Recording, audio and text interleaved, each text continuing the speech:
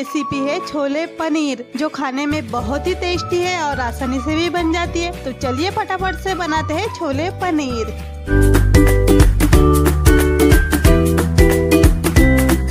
तो छोले पनीर बनाने के लिए हमने यहाँ पे लिया है 100 ग्राम पनीर और यह है छोले। छोलों को हमने रात भर भिगा के इसे पाँच सीटी होने तक कुकर में उबाल लिया है।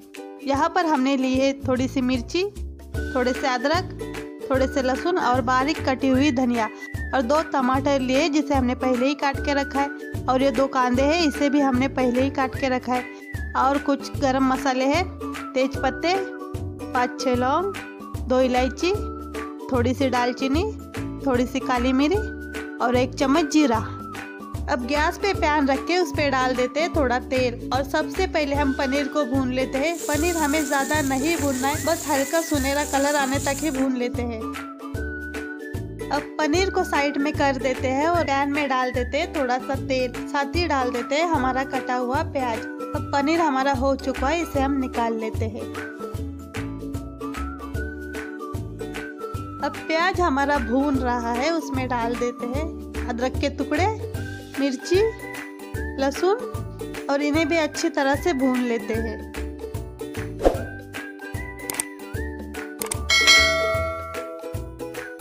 अब इसे साइड में करके डाल देते हैं हमारा गरम मसाला।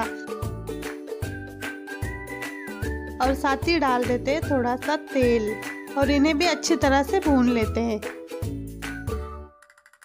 और इसमें डाल देते हैं कटे हुए टमाटर। टमाटर को भी अच्छी तरह गलने तक भून लेना है।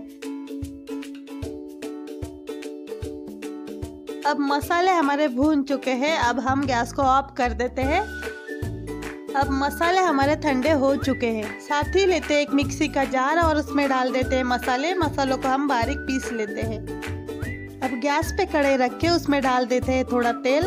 और जैसे ही तेल गर्म हो जाए, उसमें डाल देते हैं दो तेज पत्ते। बारीक कटा हुआ कांदा। कांदे को अच्छी तरह से भून लीजिए। अब कांदा हमारा भून चुका है, उसमें डाल देते हैं मिर्ची पाउडर। मिर्ची पाउडर आप अपने हिसाब से डालिए, कम या ज़्यादा। अब डाल देते हैं इसमें थोड़ी सी हल्दी और इसे अच्छी तरह से मिक्स कर लेते हैं। साथ ही डाल देते हैं हमारा पिसा हुआ मसाला।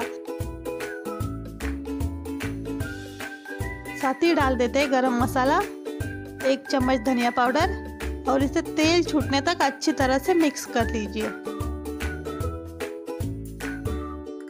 मसाले हमारे तेल छोड़ने लग गए हैं, इसे चलाते रहना है, इसे नीचे लगने नहीं देना है। अब इसमें डाल देते हैं हमारे उबले हुए छोले। अब इसे पाँच मिनट तक धीमी आँच पे अच्छी तरह से मिक्स कर लीजिए। और साथ ही डाल दीजिए हमारे छोलों का उबला हुआ पानी। ग्रेवी आप अपने हिसाब से कीजिए। अब इसमें डाल दीजिए स्वाद अनुसार नमक। नमक डालने के बाद इसे पाँच मिनट तक अच्छी तरह से पकने दीजिए। अब छोले उबल चुके हैं, उसमें डाल देते हैं एक चम्मच छोले मसाला। और साथ ही डाल देते हैं पनीर। पनीर डालने के बाद इसे थोड़ा सा मिक्स कर लीजिए। और साथ ही डाल दीजिए बारीक कटी धनिया डालने के बाद गैस को ऑफ़ कर दीजिए और इसे पाँच मिनट तक ढक के रख दीजिए। अब हमारे छोले पनीर तैयार हो चुके हैं।